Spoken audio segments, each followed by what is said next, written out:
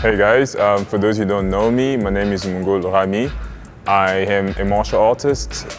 I'll be competing in the Kings K1 on the K1 event. K K1, what I like about K1 is just uh, the straightforward actions. So there's no stopping, a um, little bit of a clinching, but not too much, just pure striking. You know, um, that's the part that I find a bit more exciting.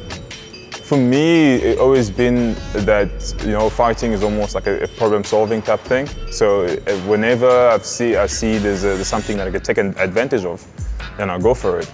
Uh, practically the difference between the style, obviously, there's, there's a few things we can point out, but uh, for me it's more like, okay, I'm, I'm not expecting anything rather than what I'm going to see and what I can do from what I'm actually fighting for. I, I did fight Damian. Um, for the fight coming out, uh, we'll see. Um, obviously, it's been three years. That's, that's, that's long. And over the years, obviously, as a martial artist, we thrive for improvement.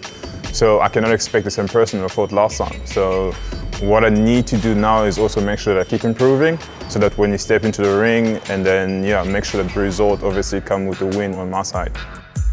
Mostly it uh, has to do with what I specifically has to improve on myself for what I've, I've, actually been doing in the past few fights that I've had recently.